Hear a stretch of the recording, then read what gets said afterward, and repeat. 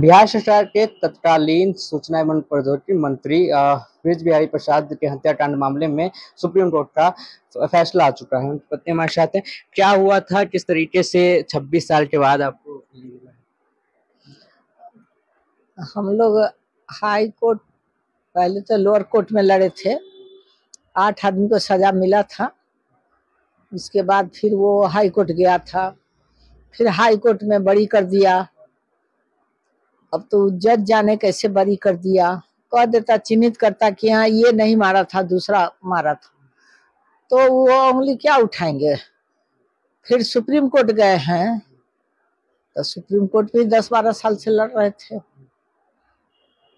लड़ रहे थे तो फैसला सुरक्षित था बहस हुई थी।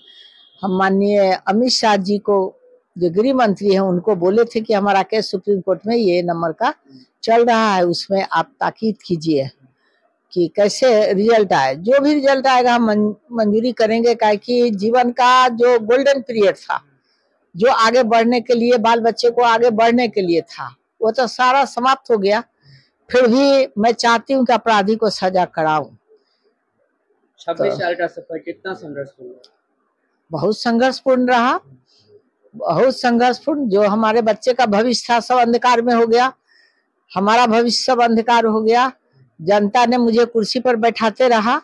इसलिए बैठाया कि हमारे साहब इतना लोकप्रिय थे और जनता के चाहते थे और वो जो काम करते थे, वो उससे सरकार में लोगों को तकलीफ़ था कि इसका जो आगे बढ़ने का जो कदम है, कल हमारा कुर्सी पर ये न बढ़ जाए। अच्छा कैसी घटना हुई थी? उस समय घटना क्या होगा?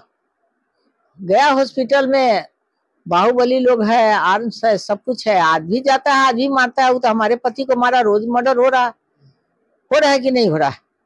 अगर ये को अभी भी हाँ, हाँ। कर दिया गया है हाँ। अपील करती हैं? नहीं क्या अपील करेंगे? अब वो भगवती माँ सजा देंगे हम क्या करेंगे अपील करके? उतना कहाँ से आएगा आदमी को पैसा कौड़ी लड़ने के लिए? मुजफ्फरपुर से लोटलेटिंग के लिए